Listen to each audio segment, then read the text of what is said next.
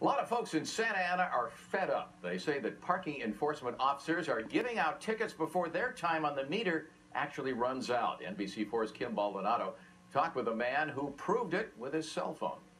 Downtown Santa Ana is undergoing a revitalization, but some residents say aggressive ticketing by parking enforcement is driving business away. We want people to come to Santa Ana because it's a welcoming community. There's a vibrant art scene. There's great restaurants. But if they get a $56 ticket on top of that, it's like they're being mugged.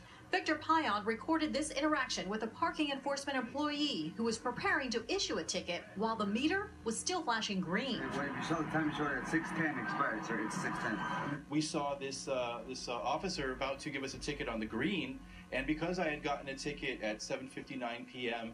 in a meter that stops at 8, I was not going to let this happen. Payan uploaded the video to YouTube and says he's since heard from about 10 other people who've had similar experiences. He was there waiting and literally photographing the license plate as she was in the car trying to move it. She says her business partner was issued a ticket as she was moving her car and while there was still time on the meter. He was so such a jerk. We couldn't believe it. We stood there and we're like, are you serious? There was a ticket on my car, but it was dated, it was timed about 15 minutes after I parked my car.